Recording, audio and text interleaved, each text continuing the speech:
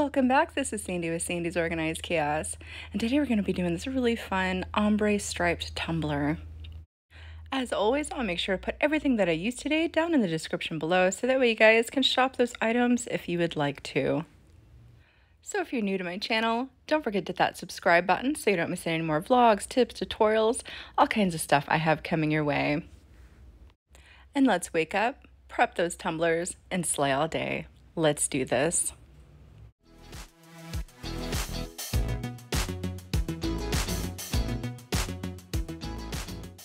We're starting out with a tumbler that I've already prepped and primed and all that fun stuff. Now this is a big guy. This is a 30 ounce skinny and I purchased that through the Stainless Depot company. But of course you can use any tumbler you already have on hand. I'm going to be spray painting it with this fluorescent orange from Krylon. I'm also going to be using a fluorescent pink as well. Now the reason why I spray painted my tumbler white first is so that way these fluorescent colors really pop and shine on those tumblers. So I'm going to go ahead and prime up my cans really good because you want to make sure they're nice and primed. These fluorescents, these fluorescents, there we go.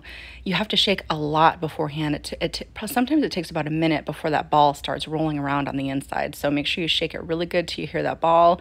Then give it a nice prime where you press that trigger a couple times just to make sure it's working. Okay, now we're going to go ahead and start on our stripes here.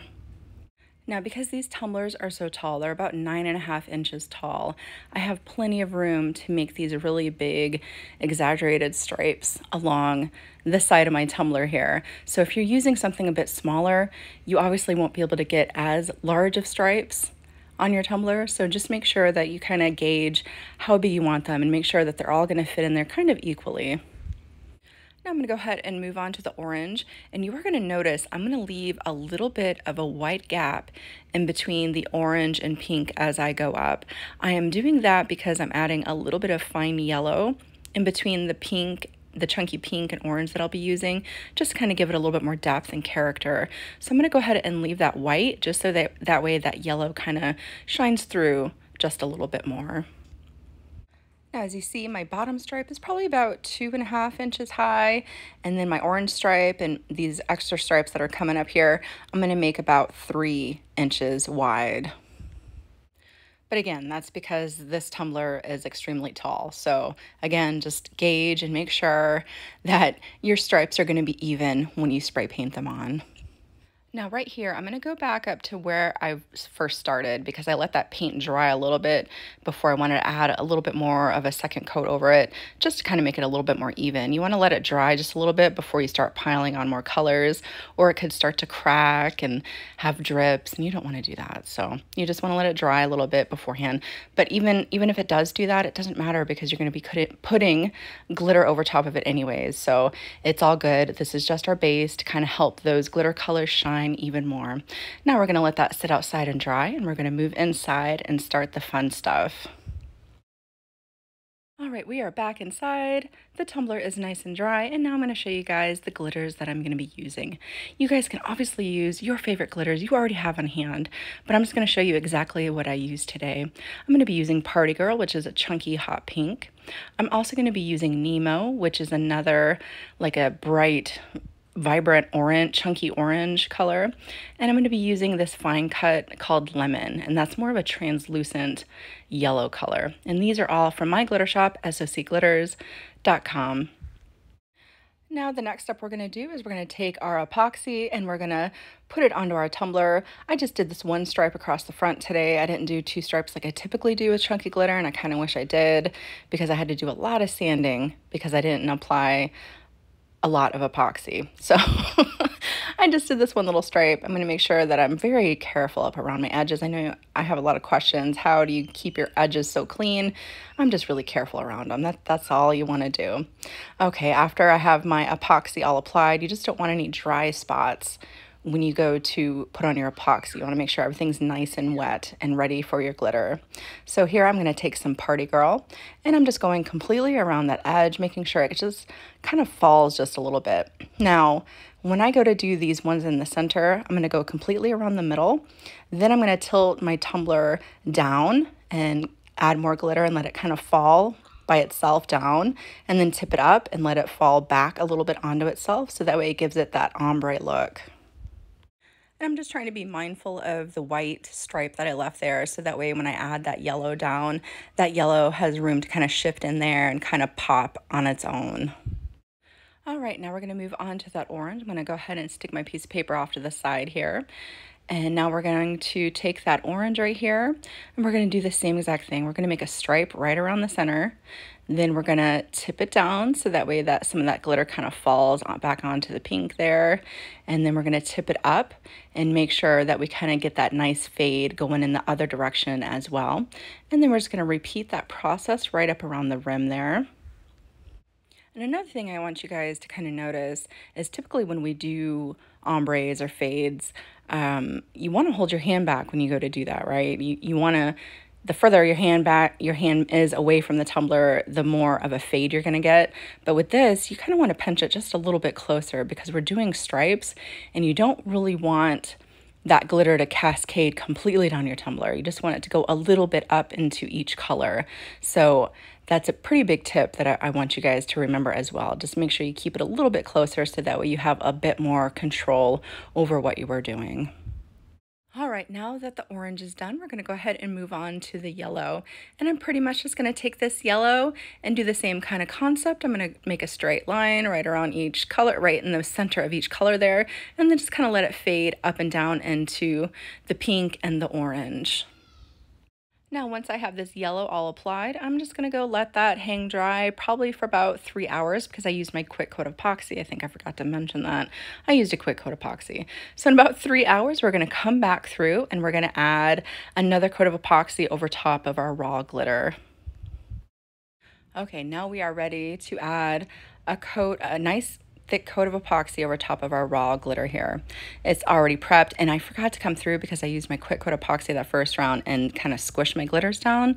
So that's why I kind of had an issue. So that make sure you guys go through and remember to go back through and kind of squish your glitters down after you apply them because now I'll, I'll have to show you guys. I'm going to be sanding it and stuff like that.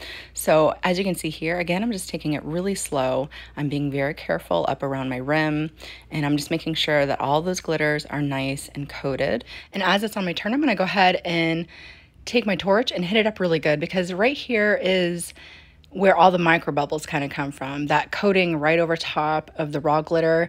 And anytime you apply uh, epoxy right over any type of vinyls that are metallic or anything like that they always seem to have so many micro bubbles so just make sure that you hit it up really good with your torch and let it spin and cure overnight. And now we are going to move on to the sanding process I'm going to take a very sharp razor knife and I am going to trim up my rim first before I move on to my sink because I like to do a wet sanding in my sink. It just really helps out with any type of debris. It kind of washes it as I go. I just prefer to do it in the sink. So that's how I do it, but you guys can sand any which way you prefer. Now, because of the type of glitters that we used, you can be a little bit rougher with it. I mean, you don't want to paint down to the paint or anything like that, but you can definitely do your thing. Make sure you get all those lumps off. Put another coat, another thin coating of epoxy over top of this. Make sure you hit it up really good with your torch again. And then it is time to apply our decals. Now, if you plan on using any type of holographic or metallic glitters, I definitely would not sand it that way. I would apply another coat of epoxy over top of that before I do any type of sanding. Just though that way I don't run the chance of hurting the glitter underneath. Okay, now here are my decals. I just got some really nice vector type palm trees. I like more of a realistic palm tree and I also have some waves here that I'm going to apply to my tumbler. I made these about three inches high. I just wanted to double check. That's why I pulled out my measuring knife. I made these about three inches high. Um, some of them are a little bit shorter than the others, but that's okay. I just felt like it gave it a little bit more character in the end. There's no right or wrong when it comes to making art. You guys know I'm more of a kind of whimsy type person and I, I like to just kind of put my decals wherever I want to.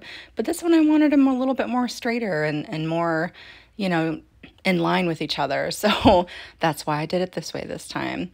Um, I'm using my lid as my guide. So I'm going to go ahead and start on the back here. And I'm just going to line that up right in the center of my lid because if you look at how my lid is, it has these little branches off to the side. And then the way the lid is on the on where it flips up, where you can drink out of it, you can definitely see where the line is that's the center. And if you flip it over into the back, it also has a little line where the seam is, where the lid kind of goes together.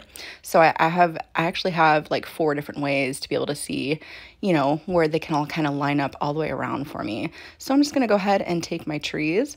I'm gonna line those up all the way around my tumbler, just one right on top of each other. And if the process that I'm showing you guys here just makes you a little too nervous and you don't think you'll be able to do it just right, again, I don't want you to think it has to be perfect. It doesn't have to be perfect. It's going to be just fine. Only you can see your own flaws, okay? But anyways, if you want to make sure that it's absolutely perfect, you can come through and use a dry erase marker and get your lines on there just right and make sure everything is lined up just right. But I'm okay with just kind of eyeballing where I want it to go, and that's how I'm going to do it. Now, after I get my trees all lined up here, I'm going to do the kind of the same concept with my waves as well. The first thing I did was just kind of go right through the middle and I took my waves and I put one right in the center in between all the trees. And I just continued that process all the way around. Then once the center was done, I came through at the top and just kind of lined everything up got it about where I wanted at the top of my tumbler and just made sure that I made every single one of those decals about the same space from the top as I went around. And then I'm going to move on to doing the bottom as well. And after those are all applied, I'm just going to take my hands and kind of warm up my vinyl to make sure everything's nice and stuck down. I'm going to go ahead and take it outside. I'm going to give it its last two finishing coats of epoxy, and she is good to go. Whether you take this design and duplicate it as is, or you take it and let it inspire you to create something that is completely your own, I hope that you guys had a lot of fun watching this tutorial today.